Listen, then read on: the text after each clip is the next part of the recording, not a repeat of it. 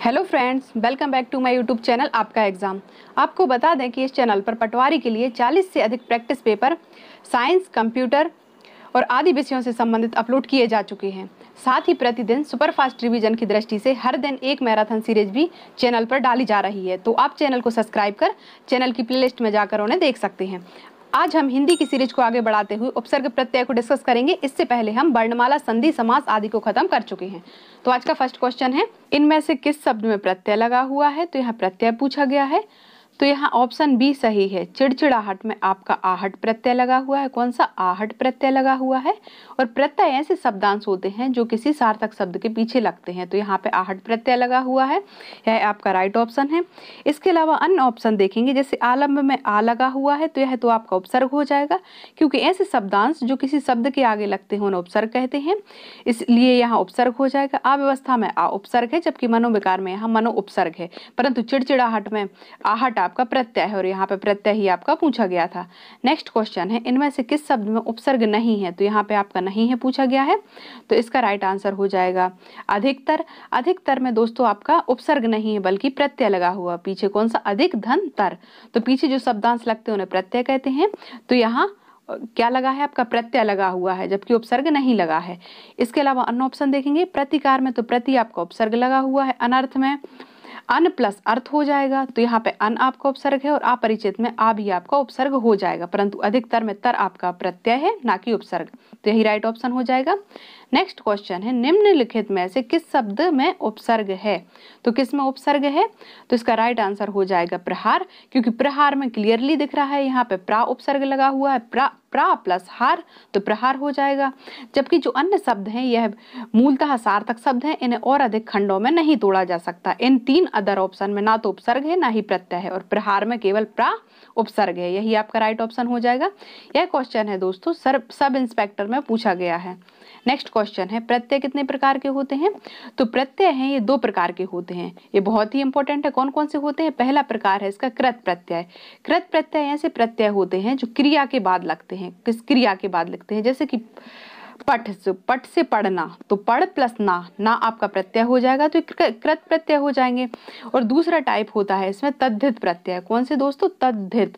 तद्धित प्रत्यय क्या होते हैं?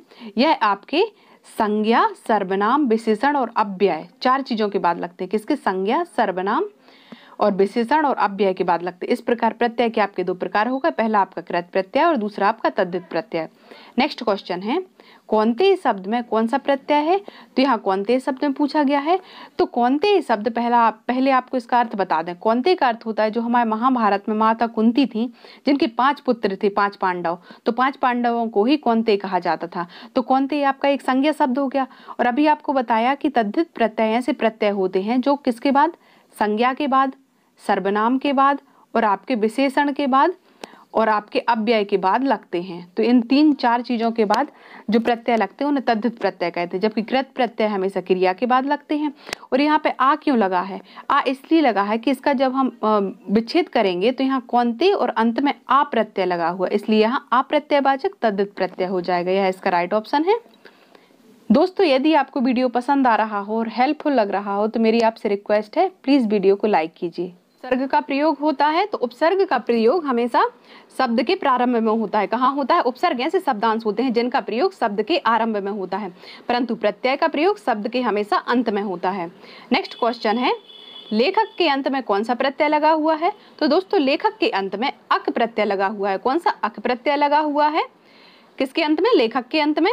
इसके बाद नेक्स्ट क्वेश्चन है, किस शब्द की रचना प्रत्यय से हुई है? तो यहाँ इनमें से देखेंगे अभियोग तो अभियोग में तो आपका अभी उपसर्ग लगा हुआ है, अपमान में यहाँ आपका अप उपसर्ग लगा हुआ है, और यहाँ व्यायाम में कोई उपसर्ग नहीं है। तो इसलिए किस शब्द की रचना प्रत्यय से हुई है तो इसका आंसर है, इनमें से कोई नहीं, क्योंकि यहाँ कोई भी ऐसा शब्द नहीं है जिसके पीछे प्रत्यय लगा हुआ है। नेक्स्ट क्वेश्चन है, चिरायु शब्द में प्रयुक्त तो उपसर्ग है तो चिरायु शब्द में कौन सा उपसर्ग है? तो यहाँ चिर उपसर्ग है, चिर प्लस आयु बन जाएगा। और आपको बता दें कि जब इसे हम तोड़ते हैं तो जो बाद का जो एक शब्द निकलता है, वह एक सार्थक होना चाहिए। तो चिर प्लस आयु, यहाँ इसका राइट आंसर हो जाएगा। नेक्स्ट है किस शब्द में उपसर्ग नहीं है तो किस शब्द में उपसर्ग नहीं है? तो यहाँ देखेंगे, अपवाद में तो यहाँ अप आपका उपसर्ग हो जाएगा, प्रभाव में प्रा आपका उपसर्ग हो जाएगा, पराजय में। परा आपका उपसर्ग हो जाएगा। पर, परंतु ओढ़ना में यहाँ आपका प्रत्यय है। कौन सा प्रत्यय है? ना प्रत्यय लगा हुआ है। तो किसमें? किस शब्द में उपसर्ग नहीं है? तो डी आंसर इसका राइट हो जाएगा क्योंकि ओढ़ना में उपसर्ग नहीं है बल्कि यहाँ ना प्रत्यय लगा हुआ है। नेक्स्ट क्वेश्चन है हिंदी में कृत प्रत्ययों की संख्या कितनी है? तो अभी बताया था दोस्तों कि हिंदी में कृत प्रत्यय की संख्या 28 बताई गई है और कृत प्रत्यय ऐसे प्रत्यय होते हैं जो किसी क्रिया या बर्व के आगे लगते हैं, क्रिया या बर्व के आगे लगते हैं, जैसे कि लिखना, पढ़ना, दौड़ना तो इनके बाद जो क्रिया के बाद जो प्रत्यय लगते हैं, उन्हें हम कृत प्रत्यय कहते हैं और इनकी संख्या 28 बताई गई है। नेक्स्ट क्वेश्चन है इनमें से कौन सा शब्द समूह समूहवाचक प्रत्यय नहीं है? तो यहाँ समूह समूहवाचक प्रत्यय नहीं है पूछा गया है तो देखते हैं। जैसे लोग है, यह तो आपका समूह समूहवाचक प्रत्यय है, वर्ग है। जैसे कि ओबीसी वर्ग, जनरल वर्ग, यह भी आपका समूह समूहवाचक प्रत्यय है, गण देखेंगे। जैसे कि गणतंत्र तो यह भी लोगों के समूह को हम गणतंत्र कहते हैं। तो यह भी आपका समूह समूहवाचक प्रत्यय है, परंतु प्रेस एक ऐसा शब्द है जो समूह समूहवाचक प्रत्यय नहीं है। तो यहाँ पे नहीं पूछा गया है तो इसका राइट आंसर प्रेस हो जाएगा। दोस्तों, यह क्वेश्चन आप देख सकते हैं। सब इंस्पेक्टर में आया हुआ है, जेल विभाग में, और यह दो बार रिपीट हुआ है यह क्वेश्चन किसमें? एसआई में। तो इसे आप थोड़ा ध्यान से देखिए। नेक्स्ट क्वेश्चन है, निम्नलिखित उपसर्ग रहित शब्द कौन सा है? तो ऐसे शब्द बताने जिसमें उपसर्ग नहीं लगा हुआ है। तो यहाँ पे हम देखेंगे, जैसे सुयोग में सु उपसर्ग लगा हुआ है। अत्यधिक में भी यहाँ पे उपसर्ग है, विदेश में भी उपसर्ग है, जबकि सुरेश ऐसा शब्द है। यहाँ पे कोई उपसर्ग भी नहीं है और प्रत्यय भी नहीं है। मतलब सुरेश को हम और सार्थक खंडों में नहीं तोड़ सकते। तो यही इसका राइट आंसर हो जाएगा, जिसमें ना तो उपसर्ग है, ना ही प्रत्यय है। यह भी सब इंस्पेक्टर में पूछा हुआ प्रश्न है। नेक्स्ट क्वेश्चन है, सब इंस्पेक्टर में किस भाषा का उपसर्ग प्रयोग हुआ है? तो सब इंस्पेक्टर में देख सकते हैं, सब उपसर्ग का प्रयोग हुआ है। और जो सब है, यह अंग्रेज़ी से लिया गया है, जैसे कि आपने सुना होगा, सब रजिस्ट्रार हो गया, सब इंस्पेक्टर हो गया, या फिर कई सारी पोस्ट में सब लग जाता है। सबका जो अर्थ होता है आपका हिंदी में उप तो यह अंग्रेज़ी भाषा से लिया गया है, सब नेक्स्ट क्वेश्चन है, यह है आपका, देखिए, पटवारी में आया हुआ क्वेश्चन है। नेक्स्ट क्वेश्चन है, कौन सा शब्द उपसर्ग रहित है? तो कौन सा शब्द उपसर्ग रहित है? तो यहाँ देखेंगे, कुकर्म में तो कु आपका उपसर्ग लगा हुआ है, कुचाल में भी आपका कु उपसर्ग है, कुचक्र में भी आपका कु उपसर्ग लगा हुआ है। परंतु कुकड़ी में कोई उपसर्ग नहीं है, क्योंकि यदि आप कुकड़ी को यहाँ बीच से तोड़ देंगे तो उसका कोई सार्थक खंड नहीं बनेगा, या फिर इसका अर्थ परिवर्तित हो जाएगा, इसलिए उपसर्ग रहित शब्द आपका कुकड़ी हो जाएगा। नेक्स्ट क्वेश्चन है प्रत्यय रहित शब्द का चयन कीजिए तो प्रत्यय रहित शब्द का चयन करना है, जिसमें प्रत्यय नहीं है। तो देखेंगे यहाँ चतुराई में तो आपका आई प्रत्यय हो जाएगा, क्या हो जाएगा दोस्तों? आई प्रत्यय हो जाएगा धैर्य में आपका अप्रत्यय हो जाएगा, पुत्रवत में आपका बत प्रत्यय हो जाएगा। तो यहाँ जबकि धीर ऐसा शब्द है, इसमें कोई प्रत्यय नहीं है, क्योंकि आप देख सकते हैं धीर स्वयं एक पूर्णतः शब्द है, उसे कहीं बीच से अन्य शब्दांश या खंड में हम नहीं तोड़ सकते हैं तो प्रत्यय रहित शब्द आपका धीर हो जाएगा। नेक्स्ट क्वेश्चन है, जिन शब्दों में उपसर्ग प्रत्यय दोनों हैं, उसका चयन कीजिए। तो यहाँ पे हम देखते हैं जो असफलता है, इसमें यदि हम आ को अलग कर देंगे, आ उपसर्ग को अलग कर देंगे तो पीछे एक सार्थक खंड बच जाएगा, सफलता। और यदि हम पीछे से इसमें ता अलग कर देंगे तो आगे क्या बचेगा आपका?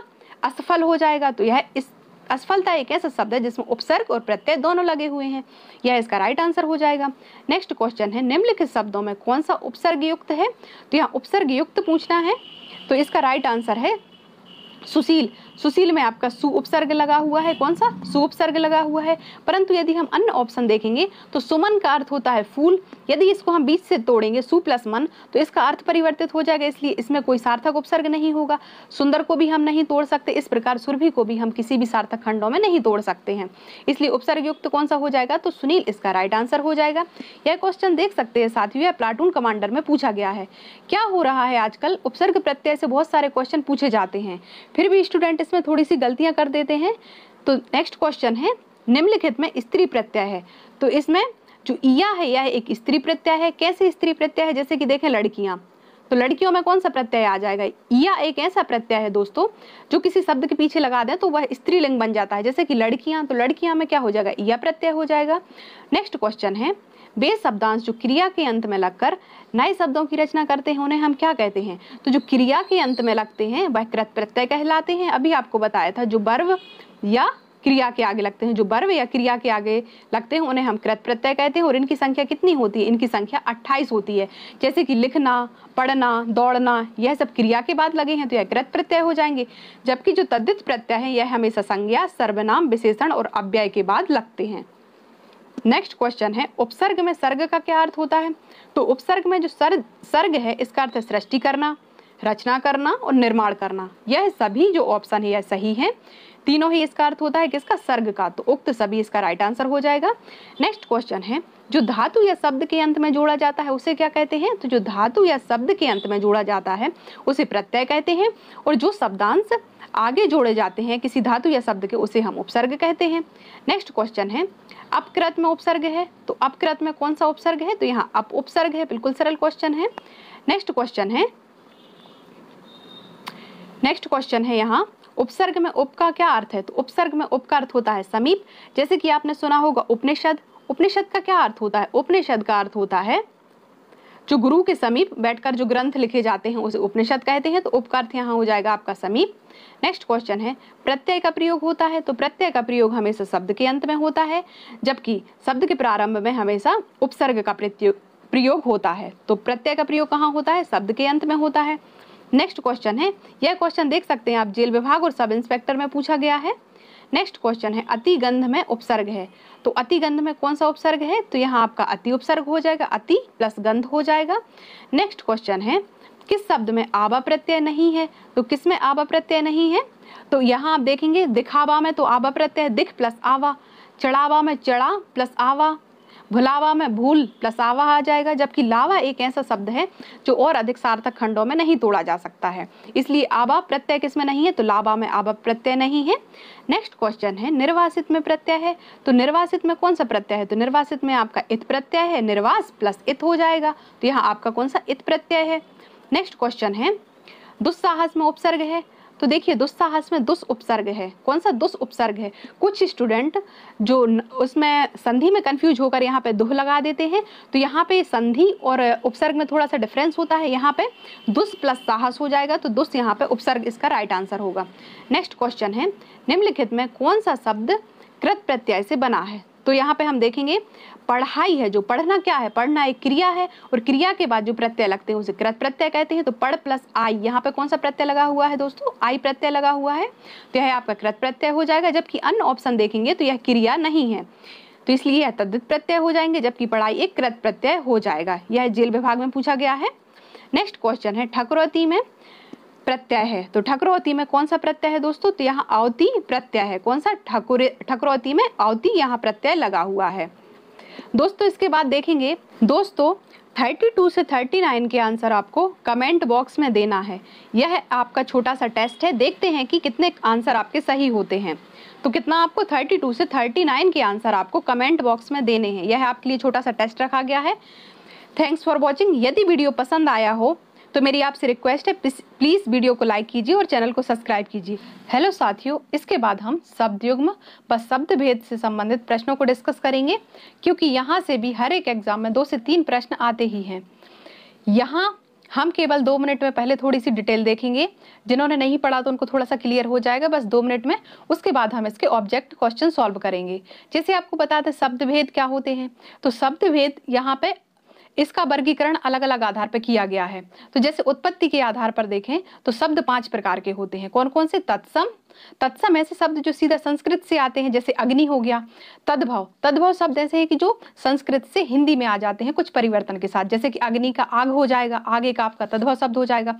देशज शब्द ऐसे कि जो हमारे देश में ही डेवलप हुए हैं, जैसे कि लोटा, थाली, खटिया, यह सब आपके देशज शब्द हो जाएँगे। विदेशज शब्द में क्या होता है? चौथा टाइप हो जाएगा विदेशज, जो विदेशों से आए हैं, जैसे कि ऑफ़िस हमारा अंग्रेज़ों से आया है, अदालत, इस प्रकार के शब्द, विदेशज शब्द हो जाएँगे। और संकर शब्द ऐसे शब्द होते हैं जो दो भाषाओं से मिलकर बनते हैं, जैसे रेलगाड़ी। तो रेल तो आपका अंग्रेज़ी का शब्द है और गाड़ी आपका हिंदी का शब्द है, इस प्रकार संकर हो जाएँगे। तो उत्पत्ति के आधार पर दोस्तों कितना हो गया? तत्सम, तद्भव, देशज, विदेशज और संकर। आप लोग याद रख लीजिए, सीधे क्वेश्चन आते हैं यहाँ से।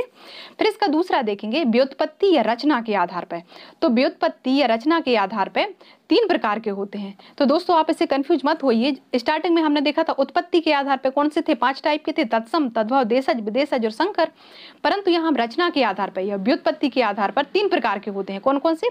रूढ़, यौगिक और योग ऋण अभी क्या होते हैं, थोड़ा सा देख लेंगे। ऋण मतलब होता है ऐसे शब्द जिनका और अधिक सार्थक खंड नहीं किया जा सकता, जैसे कि घर है। तो घर को आप और छोटे शब्दों में नहीं तोड़ सकते। यदि आपको घा अलग कर दिया रा रा अलग कर दिया तो उसका अर्थ व्यर्थ हो जाएगा। तो यहाँ पे घर और नहीं टूट सकता तो यह रूढ़ शब्द हो जाएगा। परंतु यौगिक देखें तो यौगिक में क्या होता है? दो सार्थक शब्दों से मिलकर बनते हैं, जैसे कि पाठशाला।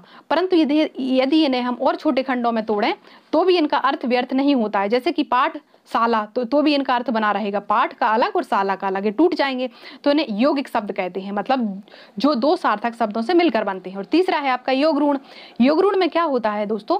दो शब्द मिलकर बनते हैं और इसका अर्थ कुछ दूसरा ही होता है। मतलब दो सार्थक शब्दों के योग से बनते हैं, परंतु इसका अर्थ कुछ अलग निकलता है। जैसे कि पीताम्बर तो पीत मतलब होता है पीला, अंबर मतलब होता है वस्त्र। तो पीताम्बर अब पीताम्बर हम किसको बोलते हैं? श्री कृष्ण को बोलते हैं।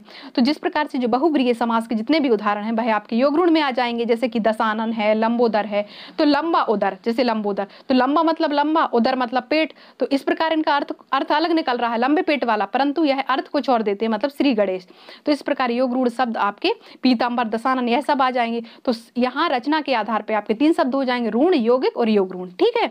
अब इसका तीसरा देखेंगे। तीसरे आधार पर शब्दों को वर्गीकृत किया गया है। किस आधार पर तो साथियों, अर्थ के आधार पर शब्द के चार भेद होते हैं। कौन कौन से? एकार्थी शब्द एक आर्थी फिर समानार्थी शब्द, विपरीतार्थी या ब्लोम शब्द और अनेकार्थी। तो यहाँ पे देखेंगे, जैसे एकार्थी शब्द है, इसमें क्या होता है? एक शब्द का केवल एक ही अर्थ निकलता है, जैसे कि राधा। राधा का क्या है? राधा बोलेंगे तो सिर्फ़ एक ही अर्थ निकलेगा ना, कृष्ण की राधा। तो राधा मार्च है। यदि मार्च बोला तो मार्च का एक अर्थ है, शराब है। तो यह सब दोस्तों आपके एक आर्थी शब्द हो जाएँगे। परंतु दूसरा है इसका टाइप समानार्थी। समानार्थी में क्या होता है? जितने भी हमारे पर्यायवाची शब्द हैं, वह समानार्थी में आएँगे। जैसे कि जल, पानी, नीर, इन सब का समान अर्थ निकल रहा है। उसी प्रकार से इसका तीसरा टाइप है विपरीतार्थ या ब्लोम शब्द। तो ब्लोम शब्द में जैसे सत्य, असत्य, दिन, रात, यह है आपके। तीसरा टाइप हो जाएगा और चौथा है अनेकार्थी शब्द। तो अनेकार्थी में क्या होता है? एक से अलग, एक से अधिक अर्थ निकलते हैं। जैसे कि अंक। तो अंक का क्या क्या अर्थ निकलता है? जैसे कि संख्या, गोद, पाप, भाग्य। कई अनेक अर्थ निकलते हैं यहाँ एक शब्द के, है ना अलग अलग वाक्य में अलग अलग अर्थ निकलते हैं। तो इस प्रकार हमने देखा एक बार ब्रीफ में बता देंगे, उत्पत्ति के आधार पे आपके कितने टाइप थे? पाँच टाइप थे। तत्सम, तद्भाव, देशज, विदेशज और संकर। रचना के आधार पे आपके तीन शब्द थे, ऋण, योगिक और योग ऋण। और आपके अर्थ के आधार पर दोस्तों चार भेद हैं। एकार्थी, अनेकार्थी, विपरीत या विलोम शब्द और अनेकार्थी शब्द, ठीक है? अब हम देखते हैं, इसके बाद हम ऑब्जेक्टिव क्वेश्चन सॉल्व करेंगे। तो आई होप आपको इतना समझ में आ गया होगा। जिसने नहीं भी पढ़ा तो उसका भी रिवीजन हो जाएगा। आज का फ़र्स्ट क्वेश्चन है, व्युत्पत्ति की दृष्टि से शब्द के कितने भेद होते हैं? तो यहाँ व्युत्पत्ति या रचना के आधार पर शब्द के तीन भेद होते हैं। अभी बताया था कौन कौन से होते हैं? तो यहाँ आपका बताया था ऋण ऋण ऐसे होते हैं जिन्हें और अधिक सार्थक खंडों में नहीं तोड़ सकते, जैसे कि घर है। घर को और अधिक तोड़ेंगे तो उसका अर्थ व्यर्थ हो जाएगा, है ना? अब दूसरा है यहाँ आपका यौगिक। यौगिक में क्या होता है? दो सार्थक शब्दों से मिलकर बनते हैं, जैसे कि पाठशाला। क्या हो जाएगा दोस्तों? पाठशाला। इसके बाद यदि आप पाठशाला को तोड़ेंगे तो भी वह दो शब्दों में टूट जाएगा, सार्थक शब्दों में। परंतु तीसरा इसका होता है कौन सा? योग ऋण। योग ऋण में क्या होता है साथियों? योग ऋण योग ऋण में जैसे कि लंबोदर हो गया आपका पीताम्बर हो गया मतलब यहाँ दो सार्थक शब्दों से तो मिलकर बनते हैं परंतु इसका अर्थ कुछ और आता है मतलब कुछ अभिन्न अर्थ निकलता है। तो योग ऋण में जितने भी हमारे बहुब्रीय समाज के उदाहरण है, वह आपके योग ऋण में आ जाएँगे। नेक्स्ट क्वेश्चन है, अनेकार्थी शब्द का कौन सा युग्म सही है? तो अनेकार्थी शब्द का अंक, यही आपका फ़र्स्ट ऑप्शन सही है, क्योंकि अंक का अर्थ अभी हमने देखा था, संख्या है, गोद है, इसका अर्थ आपने देखा होगा, इसका और अन्य अर्थ भी निकलते जैसे कि भाग्य हो गया, भाग्य भी अंक को कहते हैं, पाप हो गया, यह भी आपके अनेकार्थी शब्द के ही शब्द युग्म है। नेक्स्ट क्वेश्चन है, इनमें कौन सा शब्द युग्म सही नहीं है? तो यहाँ पे पूछा गया है, सही नहीं है तो इसका राइट आंसर हो जाएगा, संदेह या अधिक, यही शब्द युग्म सही नहीं है। इसके अलावा अन्य ऑप्शन देखेंगे तो दोस्तों शब्द युग में क्या होता है? यहाँ पे शब्द युग में क्या होता है? ऐसे शब्दों का कॉम्बिनेशन होता है जिनको उच्चारण के आधार पर समान रूप से यह प्रोनाउंस किए जाते हैं, जैसे कि अस्त्र शस्त्र। तो यह भी समान इनका प्रोनाउंसिएशन है, जबकि इनका अर्थ अलग निकलता है, जैसे उपयुक्त, उपर्युक्त। शोक, खेद। तो यह समान है, परंतु संदेह और अधिक इनका कोई प्रोनाउंसिएशन सही नहीं है मतलब इनका उच्चारण समान नहीं है और इनका आपस में भी कोई संबंध नहीं है, इसलिए यही शब्द उनका उदाहरण नहीं है। नेक्स्ट क्वेश्चन है, तद्भव शब्द कौन सा है? तो तद्भव शब्द ऐसे शब्द होते हैं जो संस्कृत से हमारे हिंदी में आ जाते हैं तो इसका राइट आंसर हो जाएगा अमरूद। अमरूद एक तद्भव शब्द है। यदि हम इसके तत्सम की बात करें तो इसका तत्सम शब्द होता है अमरूता। लास्ट में होता है ता। तो यह आपका ये तत्सम हो जाएगा, जबकि तद्भव अब वर्तमान में अमरूद प्रचलित है। जबकि अन्य यहाँ पे जो शब्द हैं, दोस्तों तो यह आपके जो शब्द हैं, यह आपके आगत शब्द हैं। आगत शब्द हैं क्योंकि यह दूसरी भाषाओं से हमारी हमारी भाषा में आ गए हैं तो इसलिए है आगत शब्द है, जबकि तत्सम शब्द सीधे जबकि यहाँ तद्भव शब्द है, सीधे तत्सम से हमारी हिंदी में आए हुए होते हैं। नेक्स्ट क्वेश्चन है, आगत शब्द नहीं है तो इनमें से कौन सा आगत नहीं है? तो अभी बताया, आगत शब्द ऐसे होते हैं जो किसी दूसरी भाषा से हमारे हिंदी में आ जाते हैं। तो जो यहाँ बहन है, यह हमारा देसी शब्द है। बल्कि अन्य जो ऑप्शन है, जैसे कि अदालत, औरत और आमदनी तो यह आपके तीनों ही शब्द हैं दोस्तों, अरबी शब्द है। कभी कभी डायरेक्ट ये भी पूछ लिया जाता है कि आमदनी किस भाषा का शब्द है, या फिर आपका आदमी किस भाषा का शब्द है, अदालत किस भाषा का है, औरत तो यह शब्द जो हैं, यह आपके अरबी भाषा के शब्द हैं, जबकि बहन आपका ये देशज शब्द है। नेक्स्ट क्वेश्चन है, उपल और उत्पल, युग्म का सही अर्थ है तो यहाँ पे पूछा गया है उपल और उत्पल। युग्म का सही अर्थ क्या है? तो उपल का अर्थ होता है ओला, जबकि उत्पल का अर्थ होता है कमल। तो यही आपका राइट आंसर हो जाएगा। उपल का अर्थ होता है क्या? ओला, और उत्पल का अर्थ हो जाता है कमल। तो यही आपका राइट ऑप्शन हो जाएगा। नेक्स्ट क्वेश्चन है, अनंग और अनग में क्या अंतर है? तो अनंग और अनग में क्या अंतर है? तो अनंग मतलब होता है, इसका विच्छेद क्या बनेगा? अन प्लस अंग मतलब बिना अंग के तो या बिना शरीर के तो या बिना शरीर के हो जाएगा, और आ नग मतलब बिना नग के तो यहाँ बिना नग का, यही इसका राइट आंसर हो जाएगा, अनंग मतलब बिना शरीर का, और अनग मतलब बिना नग का। नेक्स्ट क्वेश्चन है, ऐसे कौन सा विकल्प भिन्न है? तो यहाँ पे देखेंगे बी विकल्प इनका भिन्न है, क्योंकि जो अन्य विकल्प हैं, यह सभी अनेकार्थी शब्द हैं, जबकि बी विकल्प में जो सारे शब्द दिए हैं, यह अनेकार्थी नहीं है, जैसे कि तीर बाण, किनारा, धनुष। जबकि अन्य ऑप्शन देखेंगे, यह सब आपके अनेकार्थी शब्द हैं। यह प्लाटून कमांडर में पूछा गया है। नेक्स्ट क्वेश्चन है, ठाकुर का अनेकार्थी नहीं है। तो यहाँ पे अनेकार्थी नहीं है। तो इसका राइट आंसर हो जाएगा सेवक। ठाकुर का अर्थ सेवक नहीं होता है, जबकि ठाकुर का अर्थ स्वामी भी होता है, भगवान भी होता है श्री कृष्ण को भी ठाकुर कहते हैं, और ठाकुर एक विशेष जाति भी होती है। तो ठाकुर का अर्थ हो जाएगा स्वामी, भगवान और किसी जाति विशेष के संदर्भ में ठाकुर का उपयोग होता है, परंतु ठाकुर का अर्थ सेवक नहीं है तो यही इसका हो जाएगा, अनेकार्थी नहीं है। नेक्स्ट क्वेश्चन है, जर जरा। शब्दों का सही अर्थ भेद है तो जर जरा, इसका हो जाएगा, जर का अर्थ होता है दौलत, और जरा मतलब होता है थोड़ा अल्प।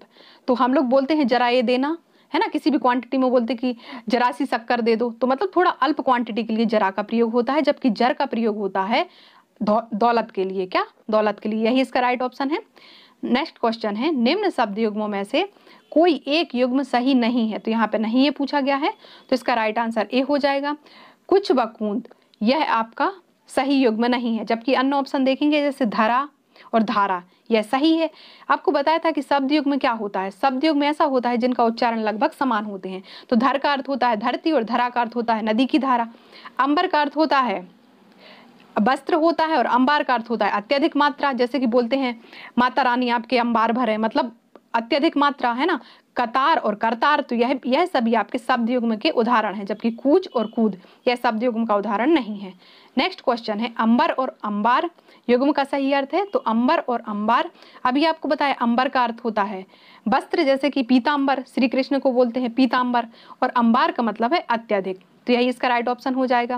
नेक्स्ट है, कर्म और क्रम में अंतर है। तो कर्म मतलब होता है काम।